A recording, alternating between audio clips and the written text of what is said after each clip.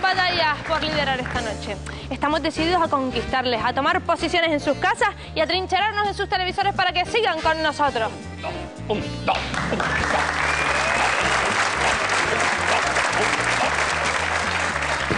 ¡A sus órdenes, mi coronel! Uy, uy, uy, uy, uy, que yo creo que a mí esto me va a gustar. A ver, a ver, soldado, atención, ¿está dispuesto usted a cumplir? ¡Señor! ¡Sí, señor! Bien, pues atento y firmes. Pero bueno, así, sin explicaciones ni nada, firmar y ya está. Sí. Pues claro, he dicho firmes. Pues va a ser que no. Porque no pienso firmar nada sin ver la letra pequeña, que luego vienen los sustos como con la hipoteca. Pero será posible. En fin, está bien. Pues, atención. ¡Sí, señor! ¡Sí, señor! Ahora, tome, hice la bandera. Ah, la hiciste tú, pues te quedó mona. Fíjate, además con estos colores tan vivos. Oye, qué precioso. Estás hecha una artista, Ana. Qué Pues el bonito. colmo. Pero es que usted no sabe hacer nada bien, soldado. Oiga, tampoco es para ponerse así. Que mi regimiento ha tenido un entrenamiento muy rígido para estar preparado para la guerra. Además, soy un especialista cualificado en primeros auxilios. Ah, bueno, pues eso está muy bien. Saber medicina y primeros auxilios por sin compañeros heridos en combate.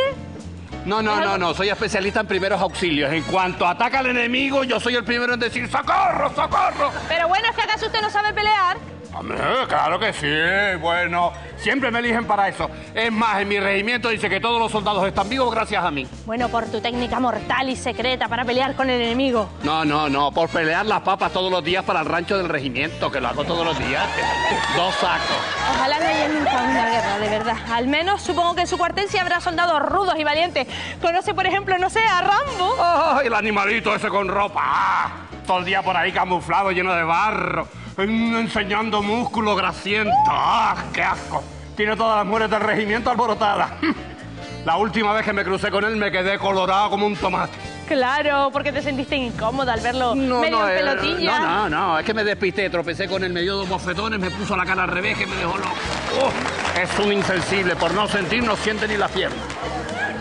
Creo que esto no es lo tuyo, cadete Jaime. Definitivamente le voy a dar una última oportunidad. A ver, presenten armas. ¿Pero para qué? ¿Para qué la voy a? Se, se conocen desde hace mucho tiempo, ¿verdad, señor Función? ¿Usted conoce la pistola? ¿Desde cuándo? Ay, qué gris. Menos mal que creo que queda un puesto libre en la Legión. ¿De sargento? No, de cabra. ¡Marchando, he dicho! Uy, qué modales, por Dios.